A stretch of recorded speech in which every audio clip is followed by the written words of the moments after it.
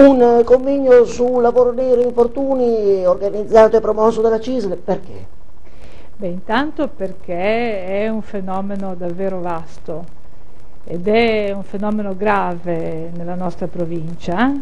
Peraltro noi abbiamo intitolato questa iniziativa il lavoro rubato perché in un qualche modo c'è da ampliare il concetto classico del lavoro nero il mm, lavoro rubato implica il lavoro cosiddetto grigio, cioè quello regolarizzato solo parzialmente, eh, il lavoro sommerso, il lavoro camuffato da prestazioni d'opera o da contratti di associazione, quindi come dire una, una realtà variegata, sfaccettata. Ecco. questa è la ragione del convegno e eh, soprattutto poi per proporre anche come affrontare questo problema.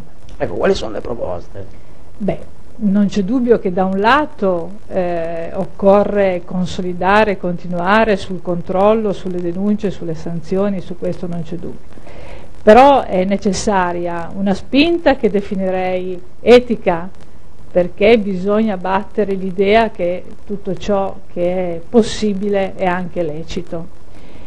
E poi ci vuole una spinta decisiva eh, perché istituzioni e parti sociali inizino a collaborare strettamente eh, e le cose da fare ci sono e sono molte. Intanto lavorando a intreccio si può comprendere meglio il fenomeno e le cause poi è possibile dire, concertare insieme le possibili soluzioni per ridurlo, per esempio eh, trovare strumenti per far emergere il lavoro nero, anche perché no, visto l'obiettivo importante, con incentivi per le aziende che si volessero regolarizzare.